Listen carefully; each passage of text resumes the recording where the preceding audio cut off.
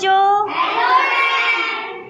आज बेटा हम आपको एक पोयम कराने जा रहे हैं जिसमें हम आपको आपकी जो रिश्तेदारी होती है जिसे आप रिश्तेदारी बोलते हैं और जो आपकी का परिवार होता है जिसमें आप सब लोग रहते हैं इन सब के बारे में बताएँगे कि जिस जो इसमें मेंबर्स रहते हैं उन सबको अंग्रेज़ी में क्या कहते हैं और रिश्तेदारी को अंग्रेज़ी में क्या कहते हैं और परिवार को अंग्रेज़ी में क्या कहते हैं। तो शुरू करें? ओके रिश्ते को अंग्रेज़ी में रिलेशन कहते हैं। रिश्तों को अंग्रेज़ी में रिलेशन कहते हैं। मम्मी को मदर, पापा को फादर कहते हैं।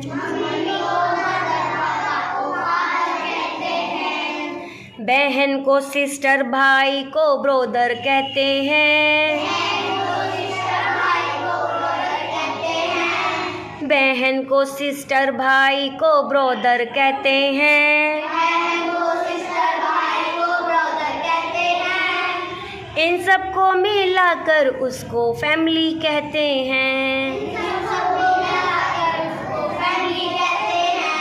तो देखिए, इसमें उसने क्या क्या बताया आपको? रिश्तेदारी जो होती है, उसको क्या कहते हैं? रिलेशन क्या कहते हैं रिश्तेदारी को?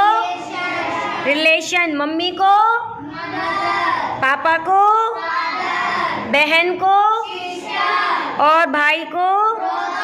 और इन सबको जो मिलाकर बने उसे फैमिली ओके तो आगे स्टार्ट करते हैं. बाबा नाना को हम ग्रैंड फादर कहते हैं.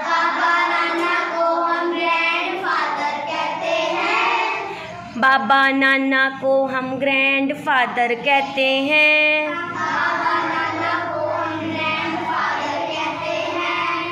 दादी नानी को हम ग्रैंड मदर कहते हैं।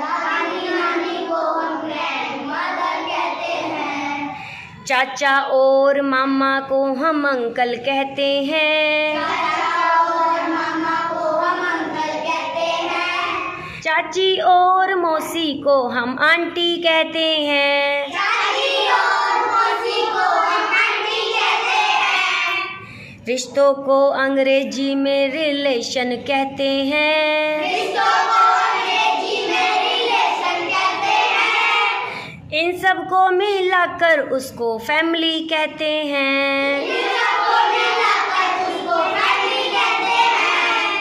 तो अब देखिए नेक्स्ट वाले में उन्होंने क्या समझाया? बाबा हुए नाना हुए इन सबको मिलाकर क्या कहते हैं उन्हें? ग्रैंडफादर और दादी हुई नानी हुई इन सबको क्या कहते हैं हम? ग्रैंड मदर चाचा हुए मामा हुए और मौसा जी हुए उनको क्या कहते हैं? और चाची मामी और मौसी उन सबको क्या कहते हैं? तो आ गई थी बात समझ में? अब तो नहीं भूलेंगे? तो क्लैपिंग करिए।